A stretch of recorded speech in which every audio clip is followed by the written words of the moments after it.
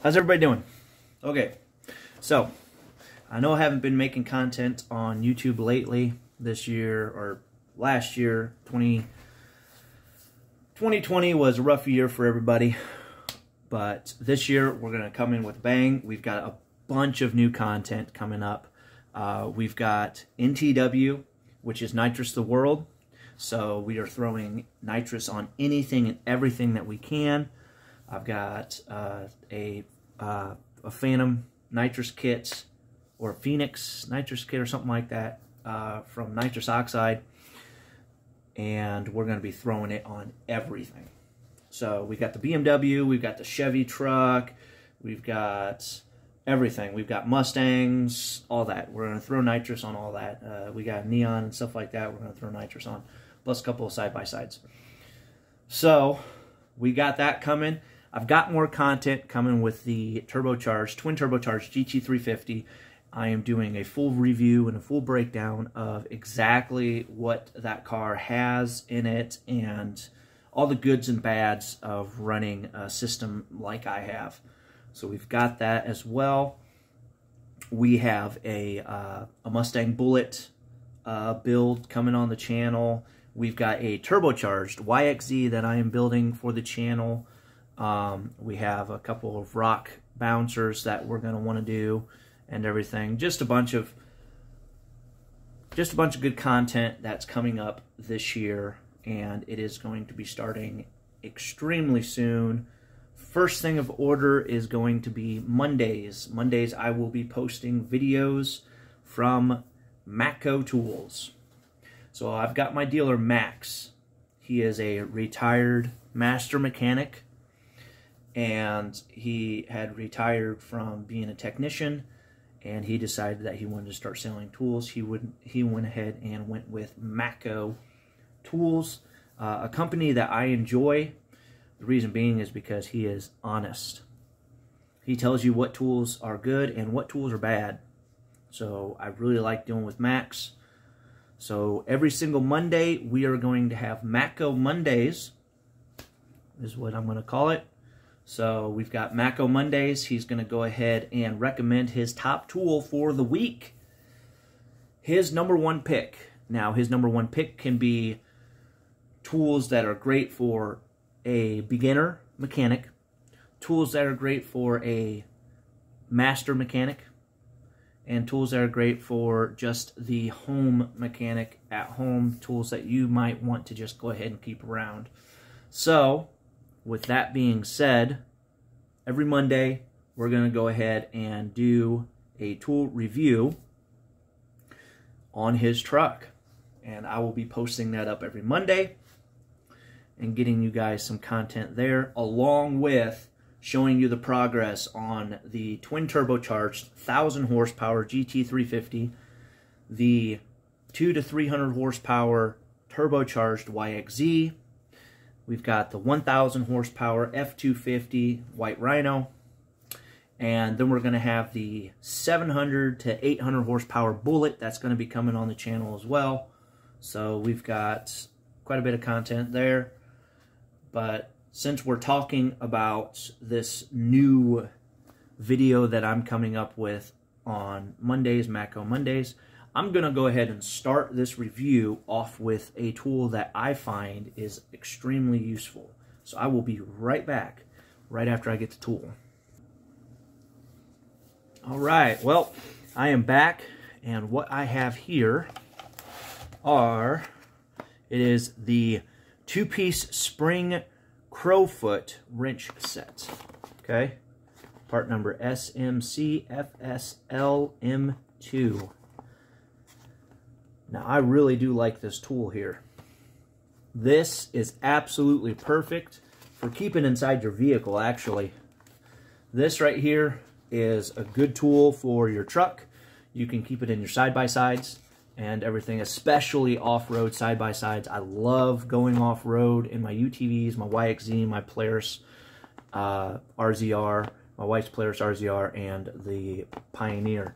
Absolutely love this tool here because it is a universal tool. So all you need is this and a ratchet. So you got your 3 eighths and your half inch. Okay. What I find really good about this is most cheap socket sets, which I highly recommend carrying a cheap socket set, whether it's, you know, I mean, it doesn't have to be too cheap. Stanley's pretty good company, Craftsman and stuff like that. Get yourself a, a good socket set. With those cheap socket sets, they never come with wrenches. They just don't come with wrenches. So what's the best thing to do? Get yourself something like this. So, you're going to take it out. So right here is the 3 eighths okay? And look at that. And it's kind of meant to be a ratchet as well. But what you do, you got your bolt here. So you've already got your socket and everything on there. And now you need something to hold the nut or whatever. That simply just fits right in there. Just like that. So that fits in and it grabs it. So you've got your pull back, and then as soon as you start putting tension on it, as soon as you start putting tension on it, she's turning. Look at the grip that it's got. It's got good, it's got at least three good corners there of grip on this crow's foot. Simply just attach your ratchet to it and you're good to go. You can unloosen things and loosen things. All you have to do is flip this around so for the 3 H drive, it goes from 5 sixteenths to 11 sixteenths or from 8 millimeter all the way up to 7 millimeter. Okay? See if we can get this thing to focus here.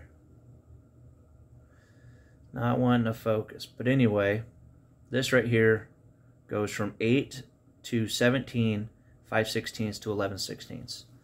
Awesome tool to have.